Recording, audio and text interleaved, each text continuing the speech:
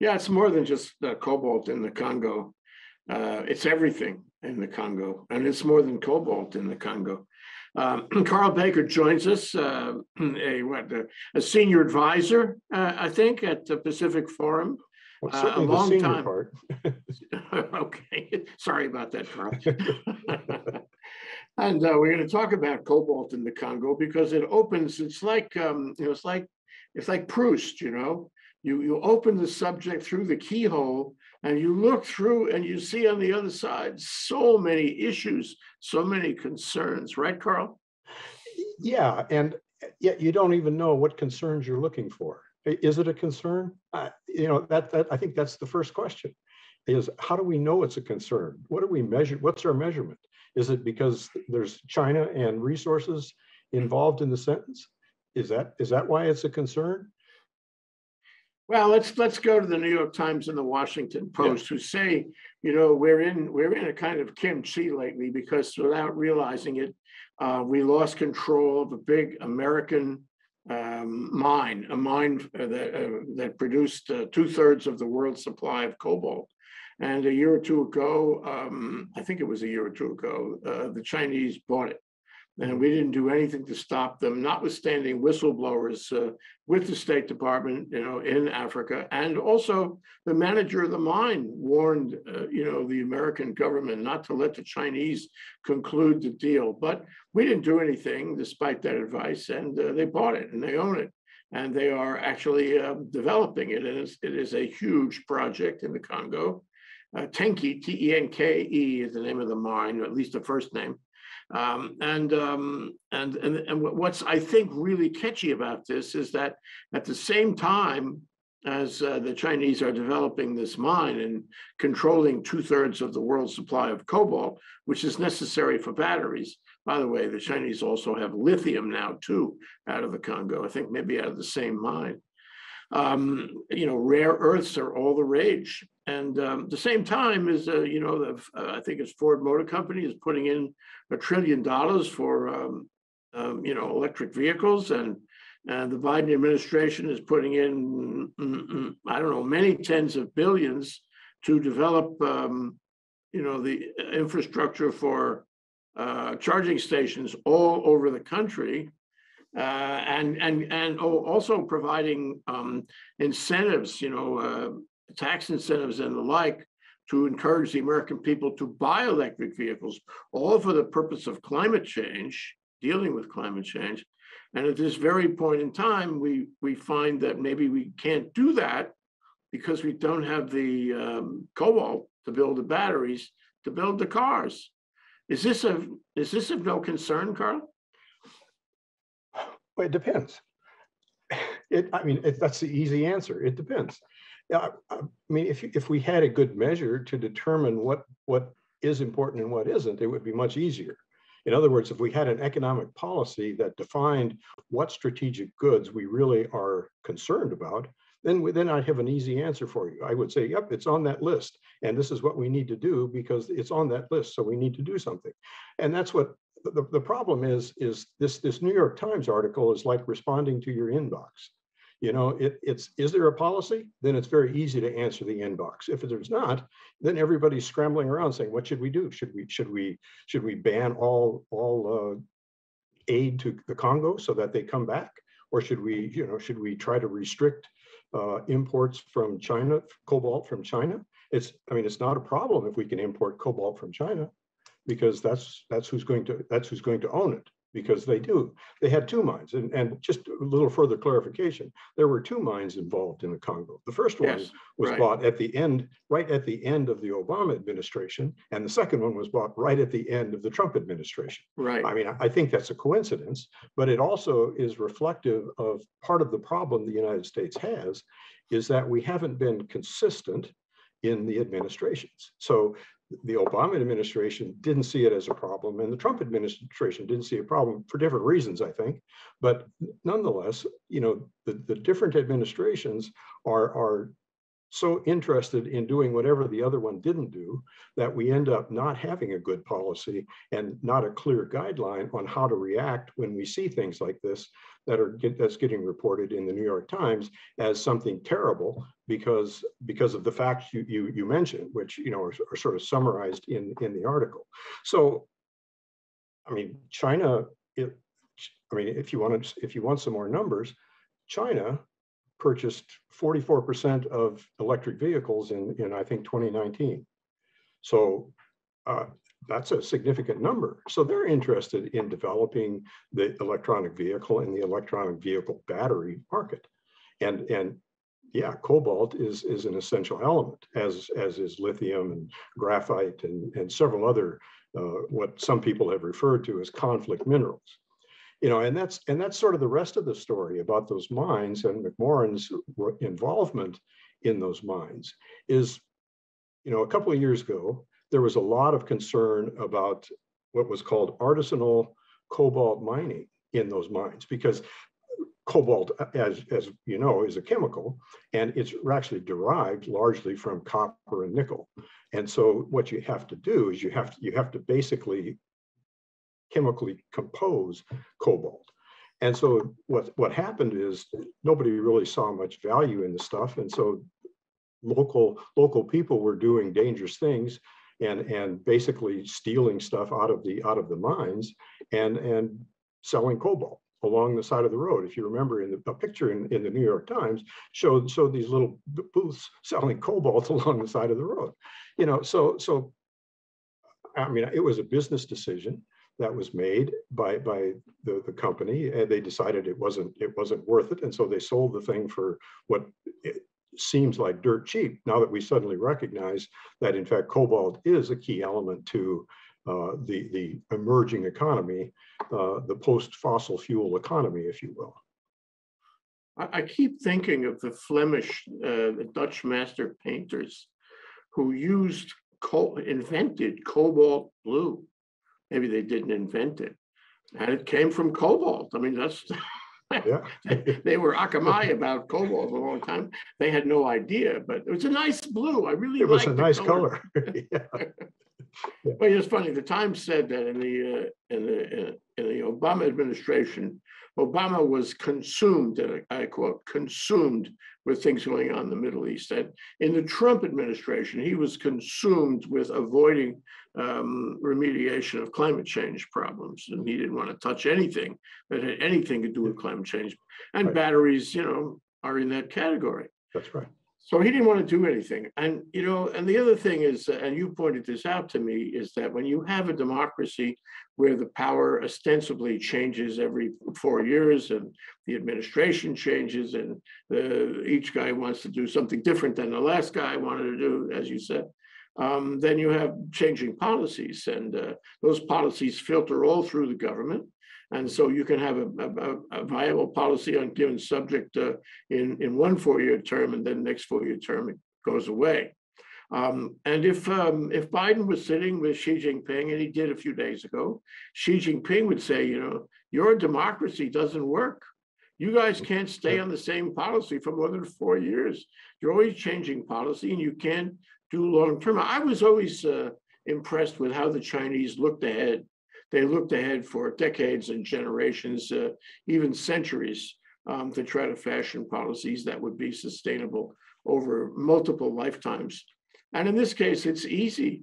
If you make your mind up that you want to do mm, electric vehicles or renewable energy in general, because batteries apply to all renewable energy sources Mhm. to, you know, contain, you know, to hold the charge, so to speak, um, then, you know, a long-term policy is, is really necessary. And so this goes beyond just developing a policy for clean energy, which we have not really done. Right. It, it goes to the question of, of finding a policy that will stay with us for more than four years. Yeah, and, and that's a, a- broader economic policy. I, you know, I, I found a quote from Wen Jiao, Wen Jiabao in the, in the 2010 state uh, report. And he said, we need to fully bring into play the superiority of the socialist system, which is efficient de- decision-making, powerful organization, and concentration of resources to achieve big things. 2010. Uh, and, and that's what China, I think, is trying to do with buying copper mines in the Congo. You know, it's, it's an example of, of implementing that kind of policy. It's a long-term policy and, and it's a, it's a system that they believe is efficient in doing those kinds of big things. And it is, it's a huge, it's a huge undertaking. And, and I mean, the numbers, the numbers are sort of staggering at the amount of cobalt that they intend to mine out of those, out of those mines in the Congo. Now, having said that, uh, they're a long ways from doing that. I mean, you know, the, the rest of the article pointed out that there's there's people who are not very happy in the Congo about the promises for infrastructure development that China has sort of done, but sort of not completed. And they're they're concerned about some of the safety issues, which of course uh, the, the American company was always on the hot seat for, that they were trying to maintain standards of, of, of mining that are, almost impossible to maintain in places like that. And so, you know, so so yeah, it's important, but you know, getting getting through the keyhole here, I think what's what's interesting about the article is it's a little bit of fear mongering by the by the journalists about about the the strength of the Chinese system and the weakness of American policy responses, and and it, it, justifiably so. But it, it points out you know, this whole notion now that we are moving into a Cold War with China. And it points out a very important fact about this, this emerging Cold War. If you like the, if you like the term or not, doesn't really matter. The fact is, is that we are now in a stage of competition with China. And people reckon back to the days of competition with Russia or the, or the USSR more accurately in the old Cold War. The difference here is that there's an economic component that's very real and, and very important to understand the implications of that economic component. You know, when, when we had the when we had the Cold War with, with the USSR, we didn't really worry about that because we had a single policy. It was the it was the US's Cold War policy, and there wasn't much difference between the Republicans and the Democrats. There wasn't there wasn't a, a sort of drifting at the end of the administrations to allow things like sale of a critical element in a mine in, in the middle of Africa. That thing, those kind of things just wouldn't happen because we would never let down our guard from, from basically blocking all economic activity, any technology transfers into the USSR. Where with China, it's very easy to do because it's a business decision by McMoRan because they couldn't afford to maintain the mine because they had stupidly invested in fossil fuels and had to had to get rid of the debt. And, and China saw it as an opportunity, took it, and, and in the in the, the, the belief in free markets, the United States saw that as a as a legitimate business deal without without thinking through the, the strategic ramifications of it. Uh, you know, and so, you know, what you have is you have this, this hugely integrated global economy. And so that's why this cold, if, if this is going to be a Cold War, we really need to think hard about how we develop an economic policy in response to it. Because you can't simply say, we're going to cut off China. You can't isolate the Chinese economy. We've, we've learned everything is so integrated.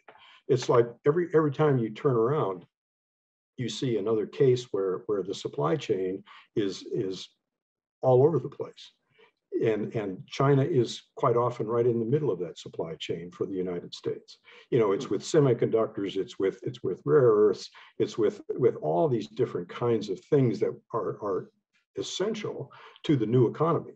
You know, and so yeah, Obama was was fixated with the, the Middle East, because that's the old fossil fuel days when that was the resource that everybody needed and wanted and knew was important to the industrial economies of, of the West. And so now we're moving into this new economy and we're moving into this new sense of competition. But the competition is so much different this time around because the Chinese have focused on the economic component and they've they've understood that that economic integration is going to make it almost impossible for anybody to shut them off And, and the, the, the- size of their economy is, is so great that everybody is going to be fixated on, remember the old saying, sell one Coke a day to everybody in China and you're going to have a successful business Or better. or better. Well, yeah, okay, but uh, they certainly have, it's, it's clear to everyone that they have made a plan. They have focused on rare earths, they've uh, focused on chips. um, And, um, you know, given a few moves, uh, they will, I'm, I'm sorry to say, but they will have uh, control, if you will. And uh, I I don't want to say monopoly, but at least some significant global control of these critical, mm, these critical things. And we won't. And, uh, you know, let me throw a proposition at you and, and see if you agree or, or not. They're winning. They're winning the competition because they can formulate policy to get hold of these things and then sell them to us and the rest of the world. And Mhm. we're not doing that. I agree. Wow. And, and what do you do about it? I mean, what, Yes. what's, what's the solution to it is, is, first of all, I think, I mean, there's, there's a couple things. I mean, let's begin by, by understanding the Chinese economy. I don't think we still agree on what the Chinese economy is. You know, there's, there's a lot of different ideas. Some people still believe that there's, there's a potential for reform, that China is going to join the liberal economic order and they're going to suddenly comply with, uh, with the WTO. And there's others who say, no, they're not, and, and it's impossible. You know, and then there's, and then there's variations in between. So what do we call China? Is China, is China capitalist? I mean, in, in some ways, in some ways, it's, it's, it's, uh, the, the quote from Lin, from Wen Jiabao is quite similar to what Lenin said back in the uh, 1920s when he was trying to develop the economy in, in uh, the Soviet Union. You know, so what is the economy? Is it a, is it a, a state capitalism? There's there's sort of a consensus that that's what it's starting to look like, but then there's there's there's still these these big corporations that uh, are are not really not really state owned, but there's crony capitalism. Uh, there's another that's another word that people have used uh, on the negative side of, of China. There's another another uh, uh, scholar who talks about the party state capitalism, you know, and that the party is now steering the economy and it it makes the decisions of what are the key what are the key aspects of the economy, and it's the one that shuts down uh, uh, company like Alibaba who's trying to trying to go go into the markets. So you know, I think that we, first we need to decide what what we really are looking at in China. Well, it's a moving target, isn't it? I mean, right now, the Alibaba is a good example and, and, and don't forget the tennis player that disappeared. Any celebrity, anybody who could have a following, anybody who competes for public attention in China is at risk because something is happening with Xi Jinping. Yes, I, I, I, agree that, that, but it's, it's more about, it's more about the consolidation of part, power around the party. And certainly Xi Jinping is, is, is dominant because he's the head of the party. It's not so much his state capacity anymore. I think people realize that he's very much becoming the chairman rather than the president. You know, and you're starting to see that, that shift a little bit, that, that there's a recognition that, that, that he really is the chairman and and is interested in in promoting the party as as the the key guide guidance for for the state which makes sense. And so you know maybe that's why uh, some people think that it's now the party state capitalism but it's capitalism to serve the interests of the party first and foremost Is But- this nec, I asked you this the last time we were together. Is it necessary? Was it necessary to, um, you know, put the stranglehold on Hong Kong? Is it necessary to rattle chains around Taiwan and, and make viable threats against Taiwan, take it over? Well, let's, let's leave Taiwan alone. I mean, that's, that's become sort of a hot button. You know, if you saw today in the news, Henry Kissinger said, well, it won't happen for 10 years anyway. You know, so, you know, but, but Hong Kong, uh, yeah, I think they felt that it was time to, to move on Hong Kong after, you know, after two years of protests. It, it- was clear to them that the, the two-party or the, the two state, one, what is it, one, one, one state, two systems wasn't working.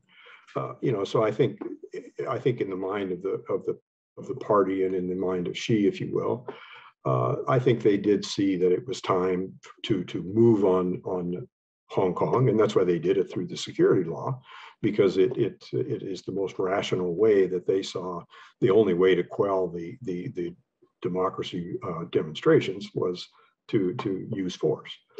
And so, yeah, they What need does to. that con- teach us about China's increased efforts at global economic competition? I, I don't, I don't know that, I, I don't know if I understand the, the connection. I mean, It's aggressiveness. this, well, It's, it's very aggressive stuff. And, and I suggest that their economic policies are also um, ag- aggressive. yeah, but, but Hong Kong is consolidating inside China. The, the, the economic policies are, are more focused on, on externalizing some of the, some of the overcapacity and excesses inside the system.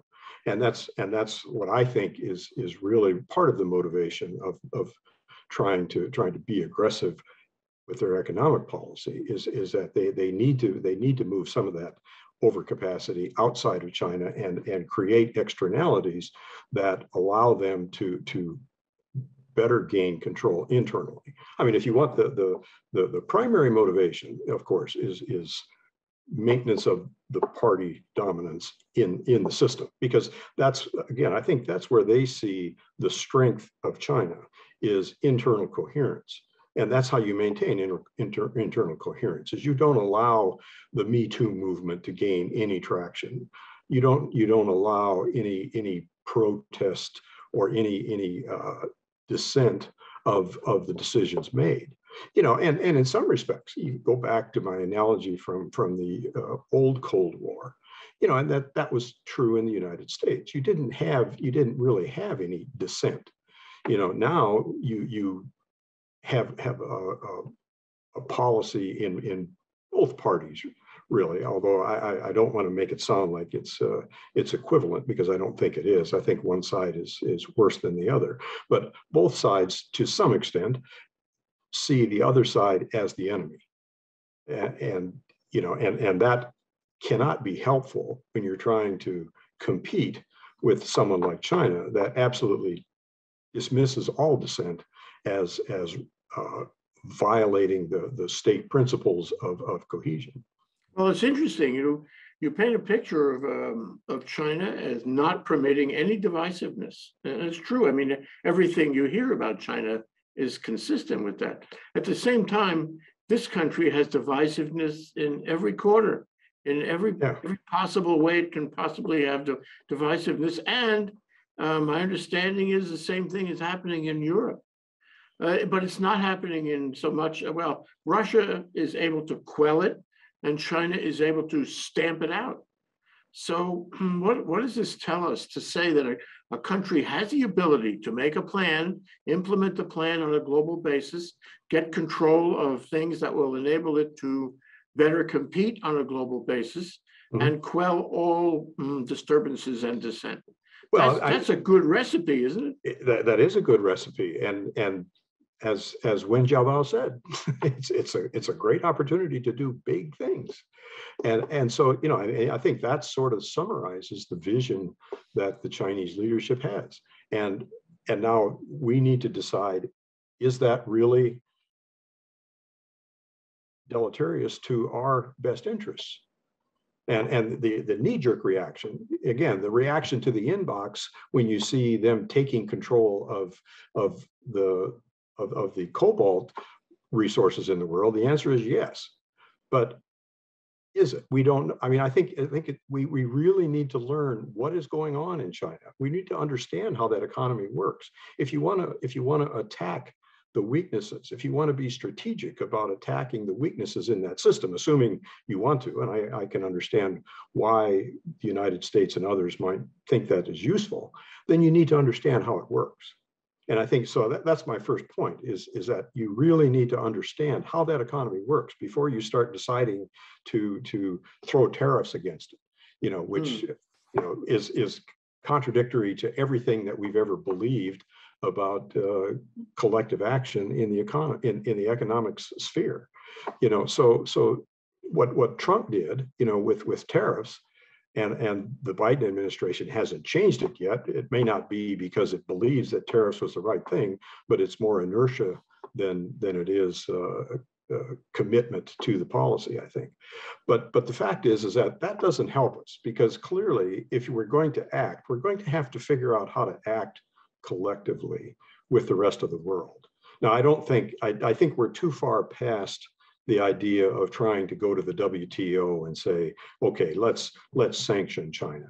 But I think what we do need to do is we need to look at the possibility of free trade agreements, of, of, of creating, if, if, I mean, if, if not joining the old uh, comprehensive uh, CTPP, CP, Oh, I can't say CPTPP. CCCP, Yeah, not the CCP, please, but the, the comprehensive and, and progressive Trans-Pacific Partnership. That's what I'm trying to talk about. Oh, oh, okay. You know, or the old TPP, the Trans-Pacific Partnership. And I, Yeah. they've made it more complicated for people like me that stumble over long acronyms. Oh, and me too. Uh, yeah, yeah. So, you know, but but the- the point is, is that if if if we're not willing to join that, then then at least we need to think about how we're going to act collectively with the rest of the world to to stymie some of the aggressiveness that we see in China. But first, we need to decide what is aggressive and what isn't. I mean, just because just because they're taking cobalt doesn't mean that that that's necessarily bad unless we decide cobalt really is a scarce resource that they intend to hoard and prevent other people from using. Yeah, so, you know, uh, what, what about this, though? Um, you alluded to the possibility that there, there could have been a plan at the time the Chinese were taking over the cobalt in the Congo, but there wasn't. Uh, what, what would the plan be? What would the element of that plan be to stop them? I mean, for example, so here's an American company that was into coal, losing money in coal, uh, and had a valuable asset in, in the Congo and let it go because it needed the cash from the sale. Um, how could the United States have stopped that or changed it or saved that? Uh, would there, what would the plan, the policy be? Um, you know, we have a lot of rules that tell our companies um, not to be acquired by foreign companies, right? Um, but we don't have rules that limit our companies' ability to sell their assets outside the United States. Right. Um, I, I think I got that right. And, and so there's, a- there's a vacuum there. And we, maybe we could have filled that vacuum in some way and made it, um, somehow incentivize them not to sell the Congo cobalt or, um, stop them in some way by, by State Department regulations, who knows what. We didn't do any of that. And so when they needed the money as a, a commercial matter, mm, they took the money. What would we do if we had the, the, the benefit of hindsight on that? Well, I thought, I've been thinking about that since, you know, since we talked yesterday about doing this. And I think what you don't do is what you, what you're suggesting, is that you act like China. And, and you underwrite, you underwrite companies so that in effect, they become state-owned enterprises. Because that's, that's sort of what you're suggesting, is, is you, you underwrite uh, McMoRan's bad decisions and, and, and basically underwrite them to maintain the, the property that they had in the Congo. And I don't. Yeah, think certainly can- that would be one option. Yeah, and I agree That's, with that's, you. Yeah. that's one option, but then, but then you're, then you're playing China's game. Then you're doing the same thing, and, and then, then it becomes a, a, a, a- competition of wills. And you really are in a zero-sum game of, of uh, global competition in a, in a Cold War, in basically an economic Cold War. And so I don't think, I don't think you do that, but I think what you do is you create some incentives for not, not just that company, but you create incentives for people to recognize the value of that property. Because don't forget, the, the, the, the, the, the, second, the second mine, uh, Kianfu, what is it, Kian? Uh, no, it's Tr- not, tr- Tron- Tronte, yeah, Tronte, Tr- Tronte, the, the, the Tronte property was sitting, was sitting dormant. I mean, they weren't doing anything with it. because, because they didn't want to invest the money and, and they had so much trouble with the other site that they sold that, uh, you know, four years, that they, they, they got out of that because they didn't want to be part of that either. You know, so, so I think what you, what you have to do is you have to create some incentives for them to, to basically develop the, de- develop the technology or develop the, the site so that they can, they can mine that cobalt. But you, I don't, don't think, what you don't want to do is, I don't think you want to be like China and take, take the, the, uh, the opposite approach, the, the same approach that China takes to, to underwriting these companies. Because I still think that that's where the potential weakness in the China model lies, is, is overextending that, that state sponsorship. And, and I, I'm talking, I'm thinking specifically about Evergrande or Kaisa, you know, some of these real estate companies that have really overextended their debt. And that's a, that's a weakness in that system because, because crony capitalism is, is no- notorious for, for exactly that, of, of overextending debt, both at the local level in, in state-owned enterprises and in enterprises that are beholden to the state. You know, so I think that's, that's where you, where you think about how you, how you counteract the, the, the system. Well, you know, one thing that could have happened, um, and it would not be state-owned, um, you know, enterprises or um, the China model, but it would be actually the American capitalist model, where the state, through one of its, um, you know, agencies within the administration, comes to Ford Motor Company and says, you know, these guys are thinking about selling their mine in Congo, and you're going to need product of that mine. And it's going to cost you more if China gets control of mm, two thirds of the world's cobalt. So, hey, why don't you guys, you know, use the conference room at the right and have a meeting um, and see if you can't cut a deal where Ford can, you know, enter into a, an output contract, uh, some kind of supply arrangement and, and prepay for the cobalt that uh, the McMoRan firm already has. And in that way, we're not a party. The United States is not a party. It's merely making a suggestion that it would be beneficial to both of you and the country if you cut a deal to, um, you know, to support future production out of this mine. Yes, but I, I'm not sure that Ford recognizes the importance of the mine. You know, you know, if you remember in the Times article, in fact, you know, the spokesman from Ford said, ah, this isn't really a problem. We can, we can find other alternatives. Uh, you know, we're not, we're not wedded to this idea that cobalt is the only answer. Uh, so, you know, uh, there goes that economic incentive because Sure. they aren't agreeing with you. They see, they see alternatives, you know, and, and that's, again, you know, in hindsight, I think I can easily see where they would have said, well, that's fine, we'll buy it from China. We'll let China do the dirty work of mining that stuff. And, and yeah, their standards aren't quite as good. So a few, a few Africans die, that's okay. You know, we- we'll, we'll get cheap batteries. Uh, Yeah, I mean, I'm being, I'm being a little, a little bit crude there, but uh, you know, I mean, I think that there's some thinking like that that does go on. And, and so while, while your, your idea sounds, sounds somewhat righteous, I, I can see where, where it, it would fall through the cracks in, in the cynical world that uh, some Yeah, maybe so, in. yeah. Maybe you have to be cynical.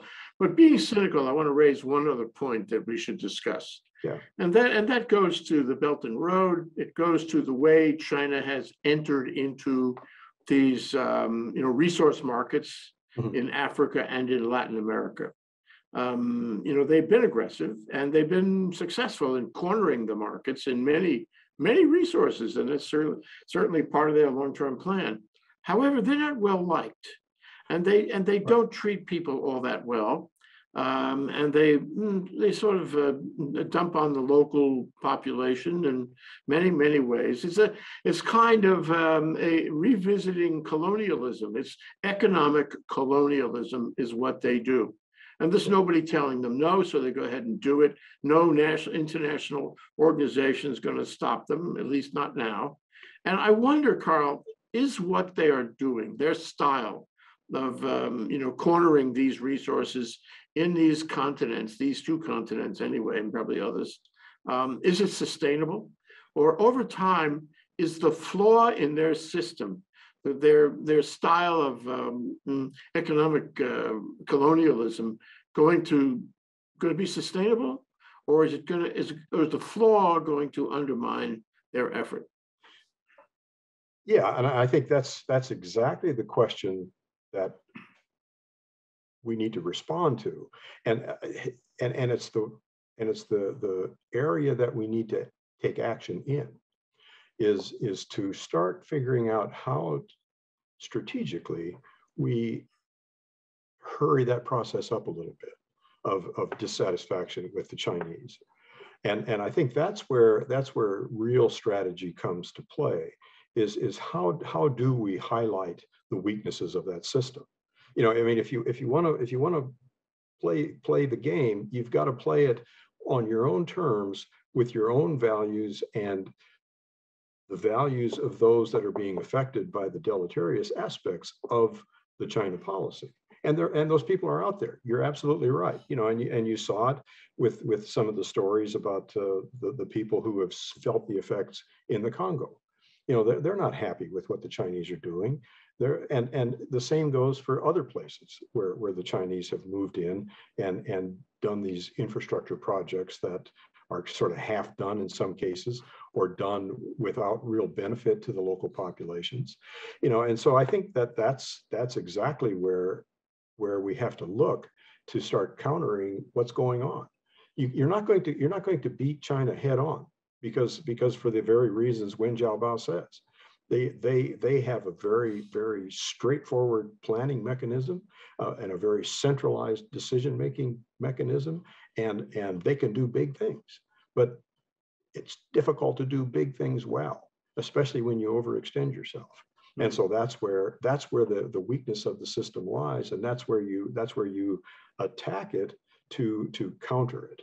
And then it and then and you and then you're right at what you said when we began the, the session that we're going to be we're going to win in the end. Because because we're we're, we're going to persevere and and be more clever than they are because uh, because we're innovative This reminds me, Carl, of um, a speaker that you had um, two or three times over at the uh, Board of Governors meetings at Pacific Forum. Uh, and he talked, uh, one year he talked about soft power. Mhm. Uh, he was with the Kennedy School, as I remember. You must remember his name. yeah joe nye joe nye Yes, Joseph S. Nye Jr. Yeah. I remember it well. Yeah. Um, and uh, one year we talked about uh, soft power. And then a year or two later, he started talking about something called smart power. And he wrote books and articles about this. And what I what I hear from you know your thoughts on this is that we have to be smarter.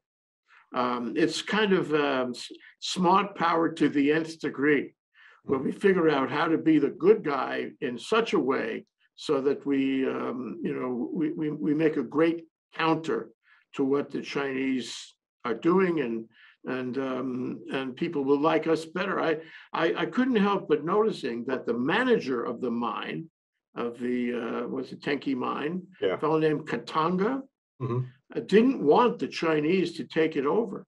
Right. He was being a whistleblower too, and he's African. Mm-hmm. Um, the guy, the guy was afraid of what would happen if they took it over, and he was speaking out against it. And the reason is clear: he doesn't like the way they do business. And so we could have friends like Katanga all over the place, Mhm. uh, using this kind of uh, um, smart power on steroids. yeah and and and that's where we need to get to and and and that's why you know we I I- we can't we can't be like china because then then you're just choosing the biggest bully in the valley and china's a big bully Yeah, I think we'll have to leave it there, Carl. okay Um, great, great discussion about such a timely topic. Um, it's, uh, it's been in the newspapers and because the newspapers that reported it are the, you know, original news sources, if you will, did the investigation. Uh, we'll hear more about it in other media, I'm sure, going forward. Yeah. So thank you for responding with me on this. I really appreciate it. and I look forward to our next discussion about, um, what do I say, the, the follow-up. there you go What's Yeah, going and, on. and there will be a follow-up because this is a this is a long-term long-term project that uh, that we're undertaking in figuring out how to compete in an effective way with a with a power like China, which you know from from the broad twenty thousand foot level looks unstoppable at this point. Yeah, what a challenge. Yeah. What excitement. Thank you, Carl Baker, Pacific Forum. Really appreciate you coming down. Thanks, Jay. Aloha.